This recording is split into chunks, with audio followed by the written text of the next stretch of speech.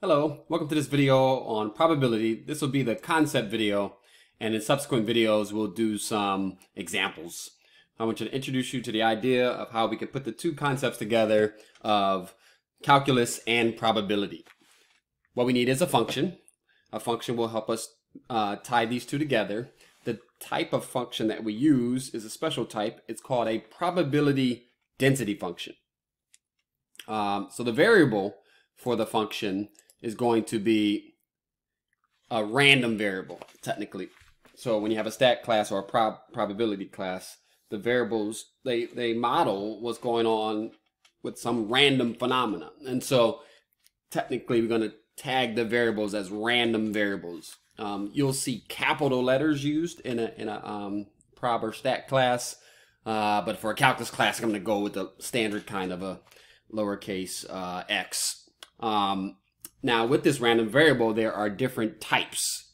Um, the type that we'll be concerned about will be uh, a continuous random variable. In order to be able to do calculus on it, we need for the random variable to be continuous.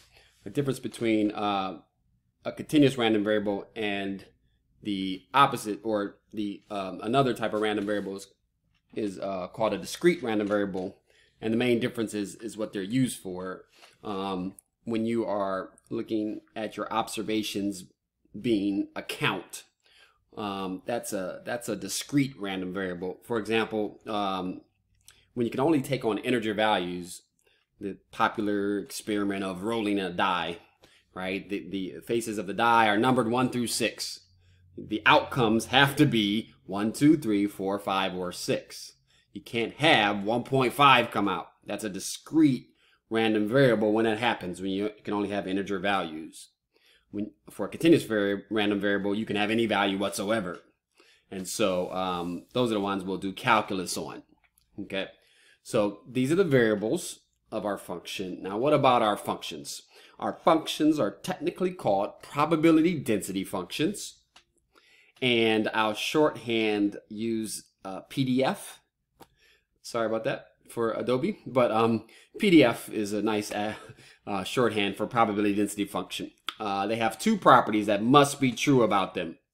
Okay, first off, the function must be greater than or equal to zero for all x in the entire real line. So the the function can never be negative. All right. The graph of the function must always be above the x-axis or on the x-axis. All right. That's a minor uh, property. The major property, though, is that the total area under the graph of the function must be 1 over the entire real line. Now, the majority of these functions aren't defined on the entire real line, or if they are defined, they'll be 0 for, for large majority of those um, x values. Um, most of our functions end up as piecewise defined functions where it's zero so long as x is, you know, less than zero. And then as x is more than or equal to zero, then it becomes something that's, you know, non-zero, the function. So these are our functions. They must satisfy these two properties. And when you have a continuous random variable, it will have a probability density function. The main thing about number two there is the tie-in to probability for the fact that area under the curve will correspond to probability, the likelihood of x taking on values between any two x values will be found by integrating. Okay. Um, shorthand for that is capital P, and then in parentheses, the x being in between uh, two values, a and b. They could be infinite or minus infinity involved too as well. But um, you, you calculate probability by calculating an integral. That's the marriage of these two ideas. Okay. All right. In the stat class, you learned about the, the three M's at first, you know, maybe even before you took a physical, you know, an actual uh, stat class, you learned about the mean, the median, and the mode. Well, we're going to calculate the mean and the median using calculus. Um, another measurement, those are measurements of center. Another measurement that we calculate in a, in a stat or probability class is the standard deviations, the measurement, the main measurement for spread of a data set. We can do that here in calculus class as well. So on the next slide, I'll give you formulas for calculating these. First up, calculating the mean. Um, the average the average value, the expected value, all these are same words, you know, synonymous synonyms for for the mean. Okay, the Greek symbol for the mean is the is the letter mu. Okay, and it's found by integrating, um, and it, you integrate over the entire real line x times your function. Okay, the function measure probability X is your outcomes. It's kind of reminiscent to what you do for a discrete. You take the outcome, you multiply by the probability, and you add overall outcomes, and then that gives you the, the average, the mean, the expected value. Okay, and so that's how you can do it with a calc uh, with an integral with calculus. You'll have a PDF, and now you multiply that PDF by x, and that'll get you um, over the entire real line. That will get you your mean.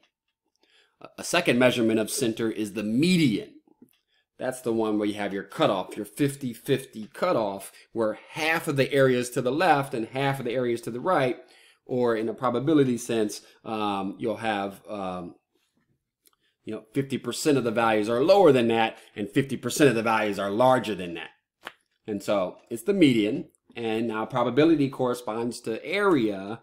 Okay, so you'll go from either minus infinity up to m, m being your median, and that area will be a half, or you can go from m to infinity, and that area will be a half. Okay, the one that's on the left is, you know, the, the bottom 50%. The one that's on the right is the top 50%, but you can use either one. All right, so we'll be calculating the median using that formula, one or the other. We have our choice. Um, next up, we'll be measuring spread. And the, the first measurement of spread is called the variance. The idea behind it is that it, it looks at the distance that data values are away from the mean. So you subtract the mean in the variance formula. Um, in a physics class, the first moment is about measuring the center, and that's going to be the mean for us. Also, the second moment in a physics class is about measuring the inertia, and that's going to be the variance for us. Um, well, the issue though is be is that half the you know some of the values will be below and some of the values will be above, and so this this this distance from the mean takes on values that are both positive and negative. So um, what's better to do is to square that, and what we would do then is is is measure that distance from the mean squared, multiplied by the probability, and take an and, take an average of that basically. And so um, there's two formulas there. There's the one on the left and one on the right. Uh, I often uh, use the one that's on the right. It's a, a simpler integral, I feel. So you have um, the mean integral multiplying the function by x. Now for the variance, you multiply the function by x squared after already calculating the mean, um, and then you subtract off the mean squared. That's the variance formula, but the units are whacked off. You know, the units don't fit. I mean, if you're measuring something in inches, then variance has inches squared. And that's, that's, you know, taking the difference between a distance and an area. So to get right back into the correct unit, we should take a square root. And that's where standard deviation comes in. The square root of variance is going to be um, standard deviation. It feels weird to put a square root over an integral. So first calculate variance and then just take its square root. All right.